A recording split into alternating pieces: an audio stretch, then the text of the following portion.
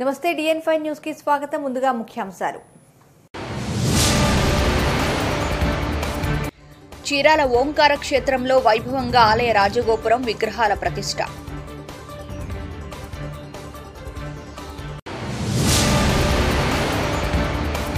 బీసీల సంక్షేమానికి ప్రభుత్వం నిధులు కేటాయించాలి. చేతివృత్తుల రౌండ్ టేబుల్ సమావేశంలో డిమాండ్.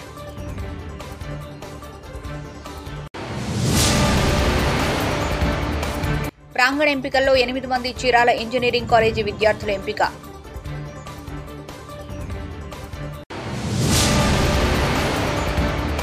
హిందూ ముస్లిం ఐక్యతపై బాపట్ల అంబేద్కర్ భవన్లో జై భారత్ సంస్థ ఆధ్వర్యంలో సదస్సు.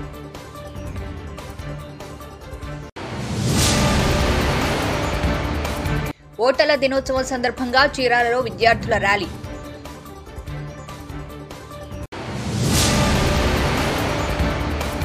భూ సర్వే పూర్తయిన గ్రామాల్లో యాజమాన్య హక్కు పత్రాలు అందజేస్తామన్న బాపట్ల జిల్లా పంచాయతీ అధికారి వై శంకర్ నాయక్.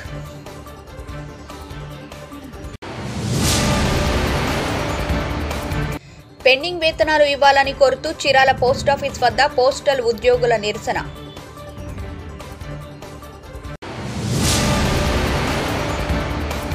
చీరాల డివిజన్ పరిధిలో విద్యుత్ బిల్లులు పూర్తిగా వసూలు చేయాలని సిబ్బందికి APSPDCL SE K V Satyanarayana ఆదేశం. చీరాల వీఆర్ఎస్ కాలేజీ సెంటర్లోని ఓంకార క్షేత్రం నందు వాడరేవు శ్రీ శ్రీ శ్రీ రామానంద సరస్వతి స్వామివారి దివ్యాశీసులతో ఆలయ రాజగోపురం కాలభైరవ చండేశ్వర దక్షిణామూర్తి రాహుకేతువులు బలిపీఠం ప్రతిష్ఠా సహిత మహాకుంభాభిషేక మహోత్సవం వైభవంగా నిర్వహించారు. విఘ్నేశ్వర పూజతో ప్రతిష్ఠా కార్యక్రమం ప్రారంభించి వివిధ కార్యక్రమాలు చేశామని దేవస్థాన అధ్యక్షులు తొగురు సత్యనారాయణ తెలిపారు. ఉప్పుగుండూరు రామకృష్ణ శర్మ మాట్లాడుతూ మహారాజగోపుర ప్రధాన దాతలు శ్రీ శ్రీ శ్రీ రామానంద సరస్వతి స్వామి వారు ITC limited agri business division వారు అచ్యుతుని రాజేష్ దంపతుల సహకారంతో నిర్మించామని తెలిపారు. గురు శుక్రవారాల్లో విశేష పూజా కార్యక్రమాలు కొత్తపేట గ్రామ ప్రజల సహకారంతో నిర్వహిస్తామని తెలిపారు. శుక్రవారం రోజున మహాన్నదాన ప్రసాద వితరణ కార్యక్రమం జరుగునన్నారు. ఈ కార్యక్రమంలో గుంటూరు వెంకటరమణ అల్లంశెట్టి తిరుమల శ్రీనివాసరావు శ్రీ కామాక్షి కేర్ హాస్పిటల్ దేవరాజు దంపతులు నడా శ్రీను కొల్లంశెట్టి రవీంద్రబాబు అర్చక స్వామి కార్తీక్ శర్మ కారంచేటి నాగేష్ కుమార్ ప్రతిష్టాచార్యులు మూలంరాజు రాజ్ కుమార్ శర్మ పాల్గొన్నారు.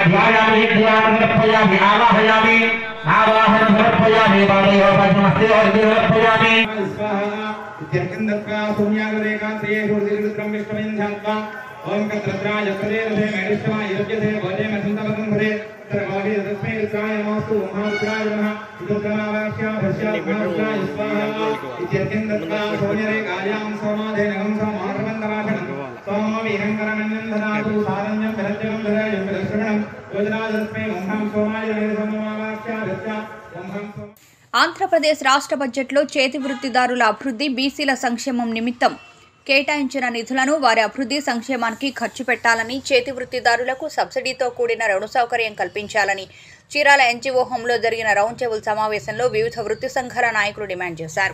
సమావేశానికి రజక వృత్తిదారుల సంఘం నాయకులు జి. బ్రహ్మయ్య అధ్యక్షత వహించారు. సమావేశంలో వృత్తిదారుల సంఘం జిల్లా convener P. Kondaiah BC federation అధ్యక్షులు ఊటుకూరి వెంకటేశ్వర్లు సిఐటియు నాయకులు బాబురావు కేవీపీఎస్ నాయకులు ఎల్. జయరాజ్ చేనేత కార్మిక సంఘం నాయకులు వైరాధ ఒడ్డెర సంఘం నాయకులు కుంచాల రాజాలు విశ్వబ్రాహ్మణ సంఘం పట్టణ అధ్యక్షులు ఎం బాలాజీ రజక వృత్తిదారుల సంఘం నాయకులు రాఘవయ్య అనిల్ కుమార్ విశ్రాంత అధ్యాపకులు డి నారపరెడ్డి మాట్లాడారు. వృత్తిదారుల సమస్యలపై ఈ నెల ముప్పైన విజయవాడ రాఘవయ్య పార్కు వద్ద ఉన్న మాకినేని బసవ పున్నయ్య జ్ఞాన కేంద్రం నందు చేతి వృత్తిదారుల సమన్వయ కమిటీ ఆధ్వర్యంలో జరుగుతున్న రాష్ట్ర సదస్సును జయప్రదం చేయాలని కోరారు. బీసీ బడ్జెట్లో వచ్చింది. డబ్బులు కేటాయిస్తారు కానీ ఖర్చు చేయట్లేదు. ఇవి బీసీలకు ఉపయోగపడలేదు వృత్తి ప్రధానంగా ఈ బీసీలో వృత్తుల మీద ఆధారపడి చేనేత రజక కుమ్మరి కమ్మ ఇట్లాంటి పొలాల మీద ఆధారపడిన వాళ్ళు ఫిఫ్టీ పర్సెంట్ ఉన్నారు. ఇవాళ జనాభాకి ఉపాధి కల్పిస్తూ కూడా నోట్లోకి ఈ కులాలకి నాలుగు వేలు నోట్లో పోతుందంటే కారణం ఈ వృత్తులే. ఎవరి మీద ఆధారపడుతున్నారు ఎవరు? ఉపాధి ఉంటున్నారు. వాళ్ళ పని వాళ్ళు చేసుకొని వాళ్ళ ఉపాధి వాళ్ళు పొందుతూ ఉన్నారు. ఇట్లాంటి వాళ్ళు తీవ్రమైన నిరాదరణకి ప్రభుత్వం ఆదరణ లేకుండా పోతా ఉంది. కాబట్టి బీసీలకు ఏదైతే ముప్పై ఐదు వేల కోట్ల బడ్జెట్లో కేటాయించారో ఇవి భవన నిర్మాణ కార్మికులుగా లేకపోతే హోటల్ పనిచేసే కార్మికులు రకరకాల కార్మికులు వెళ్ళిపోయారు మళ్ళా నిన్న రాజాగారు ఇంటికి చూస్తున్నాం అసలు గిట్టుబాటు ఎక్కడ మసాలు లేవు. మరి సన్న రకాలు వేసే మా చేనేత కార్మికులు కనపడిన పరిస్థితి. పెద్ద రకాలు వేసినా అది గిట్టుబాటు కావట్లేదు. ఎందుకు ఈ పరిస్థితి అని చెప్పాలంటే చీరాల ప్రాంతంలో ఏడు అప్రైల్ పాలకు ఏర్పాటు చేస్తున్నాం. దీనికోసం స్థలం కేటాయితే దానికోసం బడ్జెట్ కేటాయితే ఆ బడ్జెట్ అయిపోయింది ఆ స్థలం అయిపోయింది. అర్థం కాని పరిస్థితి. అందుకని ఒక విధంగా పాలక వర్గాలు ప్రభుత్వాలు ఏ ప్రభుత్వం ఉన్నప్పుడు కూడా ఏ ప్రభుత్వం ఉన్నప్పుడు కూడా ప్రజల్ని ఈ వర్గాల ప్రజల్ని అనేక వృత్తుల్లో ఉండి ప్రజలకు ఏది కావాలన్నా కూడా మనం డెవలప్మెంట్ చేసి నిజంగా ఒక రకంగా చెప్పాలంటే మన బీసీ కులాలే సైంటిఫిక్గా కూడా ఎంత డెవలప్ చేసిన పరిస్థితులు మనం రోజు రోజు చూస్తూనే ఉన్నాం. అయితే వీళ్ళ శ్రమ అయితే చేస్తున్నారు కానీ వీళ్ళ సరైనటువంటి ఆర్థికంగా కానీ సామాజికంగా కానీ దోపిడీ చేపడుతున్నటువంటి కానీ చేనేత కార్మికులు కానీ కమ్మర కుమ్మరు కానీ అందరూ యావత్తు ప్రజానికానికి మద్దతు ఇవ్వాలా? ఆ విధంగా ఆ ఉద్యోగిని కాపాడుకుంటూ ఈ సమాజాన్ని ఇంకా ముందుకు తీసుకెళ్తూ వాళ్ళ యొక్క ఆర్థిక పరిస్థితుల్ని జీవన విధానంలో మౌలికమైనటువంటి మార్పులు తీసుకురావాలా ఆ విధంగా చేసుకొస్తేనే వాళ్ళ జీవితాలు బాగుపడతాయి. లేకపోయినట్లయితే ఈ యొక్క సమాజం దేశం కూడా చాలా నష్టపోవాల్సిన పరిస్థితి ఏర్పడుతుంది. అందువల్ల మా యొక్క పూర్తి సహకారాన్ని జరుగుతున్న కూడా ఈ యొక్క చేతిదారులకు అందరూ కూడా పూర్తిగా కూడా అందుబాటులో ఉంటాం. అందువల్ల తప్పనిసరిగా బెంగళూరుకు చెందిన టీఏపీ అకాడమీ సాఫ్ట్వేర్ కంపెనీ ఆధ్వర్యంలో చీరాల ఇంజనీరింగ్ కళాశాలలో బుధవారం నిర్వహించిన ప్రాంగణ ఎంపికల్లో ఎనిమిది మంది విద్యార్థులు ఉద్యోగాలకు ఎంపికయ్యారు. కంపెనీ హెచ్ఆర్ ప్రతినిధులు సుఫియాన్ ఖాన్ షాహిద్ ఆధ్వర్యంలో విద్యార్థులకు రాత పరీక్ష సాంకేతిక నైపుణ్యంపై పరీక్ష నిర్వహించారు. చివరగా నిర్వహించిన ఇంటర్వ్యూలో ఎనిమిది మంది విద్యార్థులు ఎంపికయ్యారు. ఎంపికైన విద్యార్థులకు ధృవీకరణ పత్రాలు అందజేసే కార్యక్రమంలో incharge principal doctor Sheikh Basheera CSE HOD doctor Soujanya triple E HOD Padma placement officer Baji Shahid company ప్రతినిధులు పాల్గొన్నారు. ఉద్యోగాలు సాధించిన విద్యార్థులను ప్రిన్సిపల్ డాక్టర్ పి రవికుమార్ యాజమాన్య ప్రతినిధులు అభినందించారు.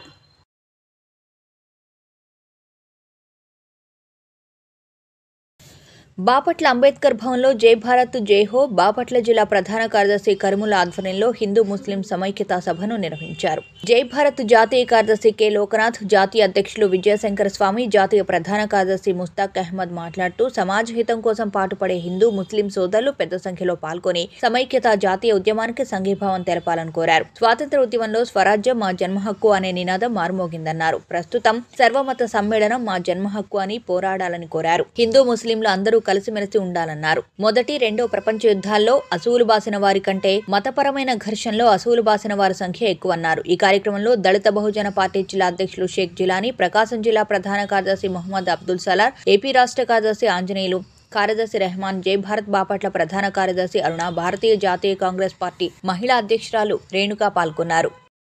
ప్రముఖంగా ఈ హిందూ ముస్లిం ఐక్యతకు ప్రారంభకులు జై భారత్ వ్యవస్థాపకులు రమణమూర్తి గారు ఒక ఇరవై సంవత్సరాల క్రితం భారతదేశానికి పెట్టినటువంటి అతిపెద్ద సమస్య ఆర్థిక అభివృద్ధి కాకుండా సమస్య ఏదన్నా ఉందంటే మత్సామరస్య ప్రపంచ మానవాళికి మత్సామరస్యమని ఆయన గుర్తించి గౌతమ్ బుద్ధుడు ఏ విధంగా అయితే ప్రజల దుఃఖ విముక్తి కోసం రాజ్యాన్ని త్యాగం చేసిపోయాడో ఆయన కూడా ఆయన వ్యాపారాలు అన్నీ వదిలేసి ఈ మత్సామరస్యం కోసం అంకితం కావాలని ఆయన పనిచేయడం జరుగుతుంది. అందుకోసం ఈ జేహో అనేటువంటి సంస్థ ఒక సంవత్సరం కింద ప్రారంభించడం జరిగింది. జై భారత్ అనుబంధ సంస్థ ఇది. భారతదేశ వ్యాప్తంగా పెద్ద ఎత్తున మత్సామరస్యం కోసం ఈ జేహో అనేటువంటి సంస్థ పనిచేయడం జరుగుతుంది. ప్రధానంగా ఇప్పటి వరకు ప్రపంచంలో మొదటి ప్రపంచ యుద్ధం రెండో ప్రపంచ యుద్ధం కంటే అత్యధికంగా ప్రజలు మత విద్వేషాలను చనిపోయారు ఇరవై లక్షల మంది పైన మత విద్వేషాలను చనిపోయారు కనుక ఏదైతే మతాల యొక్క సారం అన్ని మతాలు కూడా మానవత్వాన్ని బోధిస్తే ఈరోజు దీనికి వ్యతిరేకంగా అన్ని పరిస్థితులు కనిపిస్తున్నాయి. ప్రధానంగా జేహో ఏదైతే భారత జాతీయోద్యమం హిందూ ముస్లిం ఐక్యత ద్వారానే భారతదేశానికి స్వతంత్రం వచ్చిందో ఆ జాతీయ స్ఫూర్తితో ఈరోజు భారతదేశంలో చూస్తున్నాం సోషల్ మీడియా అన్నింటిలో కూడా. మత విద్వేషాలు లేకుండా లేకుండా జరిగినటువంటి ప్రయత్నం జరుగుతుంది. డిసెంబర్ పంతొమ్మిది నుంచి జనవరి ముప్పై వరకు ఈ పాటికి వంద సదస్సులు జరిగాయి. ఈ జేహో ఆధ్వర్యంలో దేశవ్యాప్తంగా కూడా ప్రతి సంవత్సరం కూడా సదస్సులు జరుగుతాయి. ఈ జేహోలో ప్రతి భారతీయుడు కూడా ఈ జేహో జాతీయ స్ఫూర్తి ఉద్యమాన్ని స్వాగతించి స్వీకరించి భారతదేశంలో పెద్ద ఎత్తున జేహో మసామరస్యం కోసం ఈ జాతీయోద్యమం జరగాల్సినటువంటి అవసరం ఎంతైనా ఉంది. ఈరోజు భారతదేశం కాపాడబడ్డం అంటే ఏకైక మత సామరస్యాన్ని కాపాడుకోవడమే. ఈరోజు భారతదేశంలో మతాల వారిగా మనం చీలిపోతే ఇది దేశ అభివృద్ధికి దేశానికి క్షేమకరమైందా అనేది మనం అందరం ఆలోచించి ఈ జేహో చేస్తున్నటువంటి జాతీయోద్యమం భారతదేశంలో అందరం కూడా భాగస్వాములై మత్సామరస్యాన్ని కాపాడుకొని దేశాన్ని రక్షించుకున్నామని ఈ యొక్క మ- మత్సామరస్య ఈరోజు బాపట జరుగుతున్న సమావేశం సందర్భంగా నేను తెలియజేస్తున్నాను. జాతీయ ఓటర్ల దినోత్సవం సందర్భంగా చీరాల తహసీల్దార్ కార్యాలయం నుండి పట్టణంలో విద్యార్థులు ర్యాలీ నిర్వహించారు. డిప్యూటీ తహసీల్దార్ సురేష్ మాట్లాడుతూ ప్రతి ఒక్కరూ తమ ఓటు హక్కుపై అవగాహన కలిగి ఉండాలన్నారు. పద్దెనిమిది సంవత్సరాలు నిండిన ప్రతి ఒక్కరూ ఓటు నమోదు చేసుకోవాలని కోరారు. వాళ్ళది ఎంత ఓటు చాలా ఎంత ప్రాముఖ్యమైందనేది తెలియజేస్తూ మనము అందరికీ దీన్ని వివరించి ఓటు ఆవశ్యకతను వివరిస్తూ ఉంటాము.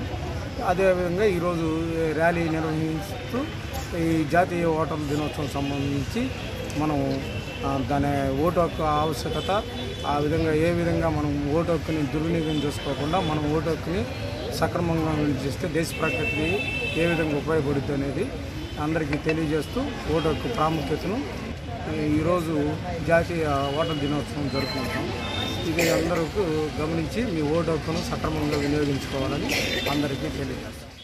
త్వరలో అందరికీ ప్రాపర్టీ ఓనర్షిప్ కార్డులు జారీ చేయనున్నట్లు జిల్లా గ్రామ పంచాయతీ అధికారి వై శంకర్ నాయక్ తెలిపారు. ఐసీడీఎస్ కార్యాలయంలో ఆయన మాట్లాడుతూ జగనన్న భూ హక్కు భూరక్ష పథకంలో గ్రామీణ ప్రాంతాల్లో ఆస్తిపై స్పష్టమైన యజమానిని నిర్ణయించాలన్నారు. సర్వే ఆలస్యం కావడానికి సిబ్బందికి ఖచ్చితమైన శిక్షణ లేకపోవడమేనని తెలిపారు. ఈ కార్యక్రమంలో divisional panchayat officer Venkatarao deputy సర్వేలు T Srinivasarao M Srinivasarao MPDO Sharma Chinnaganjam Vetapalem ఈఓఆర్డీలు K Swarupa Rani S Srinivasarao పాల్గొన్నారు.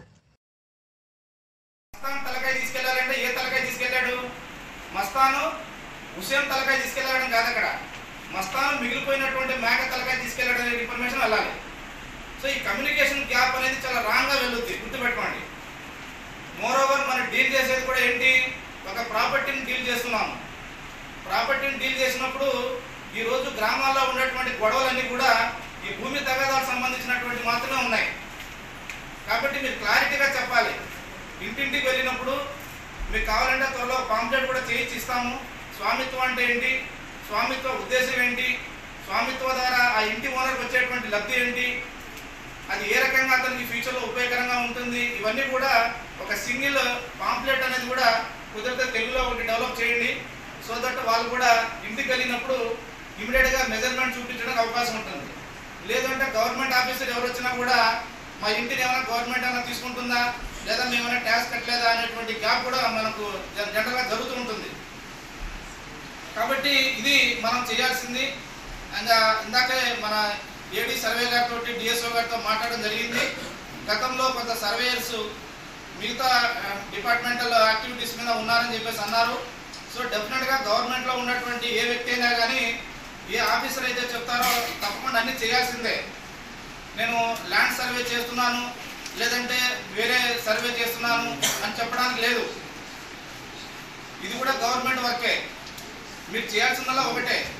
మీకు ఇచ్చినటువంటి జాబ్ చార్ట్లో చెప్పినటువంటి వర్క్ అసైన్మెంట్లో దానికి కొంత టైం ఇవ్వండి. దానికి ఒక రెండు గంటలు ఇస్తే దీనికి ఒక గంట సేపు ఇవ్వండి. అంతేకాని ఈ వర్క్ చేయనని చెప్పేసి అనడానికి మీరు లేదు అది ఎవరైనా కానీ సర్వేర్ కానీ పంచాయత్ సెక్రటరీ కానీ డిజిటల్ అసిస్టెంట్ కానీ లేదంటే ఇంజనీరింగ్ అసిస్టెంట్ కానీ. అంతేగాని మేము బిల్డింగ్ కడుతున్నామండి. మాకు మా డి గారు మా ఏఈ గారు వేరే వర్క్ చెప్పారంటే కుదరదండి. ఉన్నటువంటి డౌట్స్ డౌట్స్ ఏదైతే ఉన్నాయో అవన్నీ కూడా క్లారిఫై చేసుకోండి. దానికోసం వన్ అవర్ టైము అలాట్ చేయమని చెప్పడం జరిగింది. ఎందుకంటే ఇదంతా సబ్జెక్ట్ కొత్తది కాబట్టి డౌట్స్ జనరల్గా అందరికీ ఉంటుంది. మాకు కూడా డౌట్స్ చాలా ఉన్నాయి. బట్ ఇక్కడ మనకు డిఎస్ఓ గారు ఉన్నారు. ఈ డే లాంగ్ ప్రోగ్రామ్ కాబట్టి చివరిలో మినిమం వన్ అవర్ మీకు ఉన్నటువంటి డౌట్స్ అన్ని కూడా క్లారిఫై చేస్తారు. మధ్యలో ఏదైనా డౌట్స్ వస్తే దయచేసి నోట్ చేసుకోండి. చివరిలో మాత్రమే అడగండి. మీరు మధ్యలో డౌట్స్ అడిగితే మటుకు ఇది స్పీడ్ బ్రేకర్ లాగా ముందుకు వెళ్ళదు మళ్ళీ డిస్టర్బ్ అవుతుంది కాబట్టి చివరిలో మీ డౌట్స్ అన్నీ కూడా క్లారిఫై చేస్తారు. డౌట్స్ క్లారిఫై కాకుండా ఈరోజు ట్రైనింగ్ అయితే క్లోజ్ అవ్వదు. నేను మళ్ళీ వస్తాను. నేను వచ్చినప్పుడు కొన్ని క్వశ్చన్ పేపర్ తయారు చేసుకొని వస్తాను. వాటి మీద కొన్ని అడగడం జరుగుతుంది. మీకు ఎంతవరకు అర్థమైంది అనేది అవన్నీ కూడా లీగల్ ఫార్మేట్ రిజిస్టర్స్ మాత్రమే అడుగుతాను. అవన్నీ కూడా నోట్ చేసుకోండి. సో ఈ రకంగా ఈరోజు మనకి ఏదైతే స్వామిత్వం మీద ట్రైనింగ్ ఇచ్చారో హండ్రెడ్ పర్సెంట్ అందరికీ ఒకే రకమైనటువంటి ఇన్ఫర్మేషన్ వెళ్ళాలి. మనకు గడిచినటువంటి national federation of postal employees union పిలుపు మేరకు దేశవ్యాప్తంగా పోస్ట్ ఆఫీసుల వద్ద నిరసన తెలిపారు. కంటింజెంట్ సిబ్బందికి రెండు నెలలుగా ఇవ్వవలసిన జీతాలు ఇవ్వాలని డిమాండ్ చేశారు. జీడీఎస్ సిబ్బంది సెలవుల స్థానంలో పనిచేసిన అవుట్ సైడర్స్కి చెల్లించాల్సిన జీతాలు ఇవ్వాలని కోరారు. టీ అడ్వాన్సులు విద్యుత్ బిల్లులు మెడికల్ ఫండ్స్ ఇతర ఖర్చులు ఇవ్వాలని డిమాండ్ చేశారు. ఈ కార్యక్రమంలో ఎన్ఎఫ్పి చీరాల బ్రాంచ్ నాయకులు SK Mastanvali D Srilakshmi BCH Punnamma FNPO నాయకులు K Mark M Vinod T Ramesh BPF నాయకులు బి శ్రీనివాసరావు సిహెచ్ వెంకయ్య పాల్గొన్నారు. పోస్టుల ఉద్యోగుల ఐక్యత వద్దిల్లాలని చెప్పేసి ప్రతిసారి మనం చెప్పుకుంటా ఉంటాం. ఈ ఐక్యత అనేది లేకపోతే మనం ఏది సాధించుకోలేము ఏదంటే పూర్వం నుంచి కూడా మనం ఐక్యత ఉండబట్టే ఇంతకాలం ఈ ఈ డిపార్ట్మెంట్ నేను దూరం తీసుకురా రాగలిగాం. ఆ ఐక్యత అనేది లేకుండా ఉంటే మనం కూడా బిఎస్ఎన్ఎల్ మాదిరిగా ఎప్పుడో వెనక్కి వెళ్ళిపోయే పరిస్థితి ఉంది.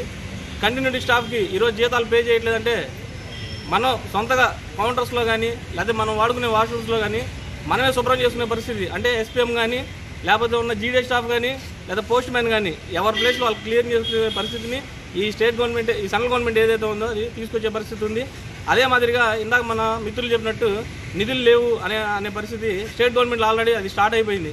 పెన్షనర్స్కి ఇప్పుడు టూ మంత్ టూ మంత్స్కి కూడా ఇంతవరకు పెన్షన్స్ అనేది కూడా ఎలా చేయట్లేదు.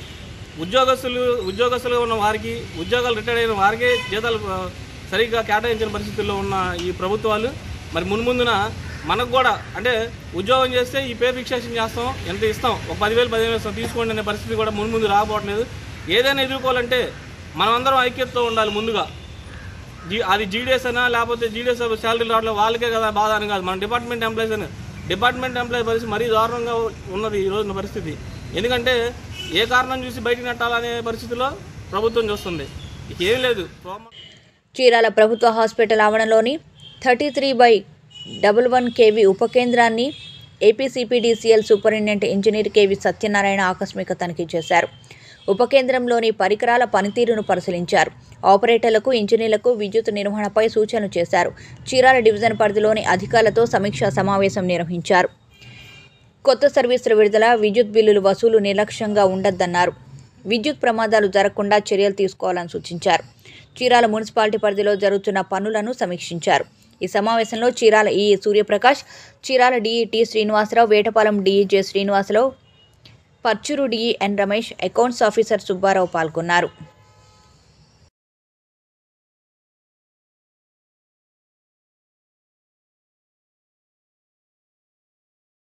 వార్తలు ముగించే ముందు ముఖ్యాంశాలు మరోసారి.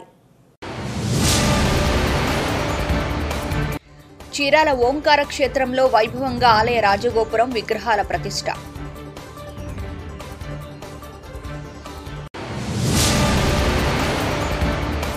బీసీల సంక్షేమానికి ప్రభుత్వం నిధులు కేటాయించాలి. చేతి వృత్తుల రౌండ్ టేబుల్ సమావేశంలో డిమాండ్.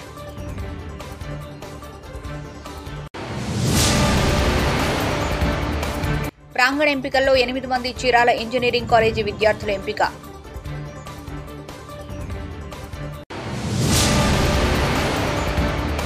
హిందూ ముస్లిం ఐక్యతపై బాపట్ల అంబేద్కర్ భవన్లో జై భారత్ సంస్థ ఆధ్వర్యంలో సదస్సు.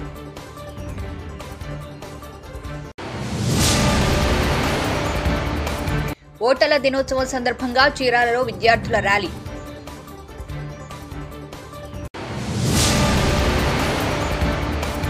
భూ సర్వే పూర్తయిన గ్రామాల్లో యాజమాన్య హక్కు పత్రాలు అందజేస్తామన్న బాపట్ల జిల్లా పంచాయతీ అధికారి వై శంకర్ నాయక్.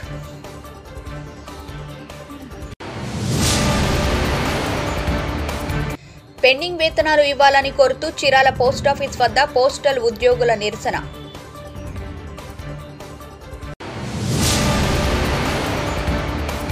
చీరాల డివిజన్ పరిధిలో విద్యుత్ బిల్లులు పూర్తిగా వసూలు చేయాలని సిబ్బందికి ఏపీఎస్పీడీసీఎల్ ఎస్ఈకేవి సత్యనారాయణ ఆదేశం.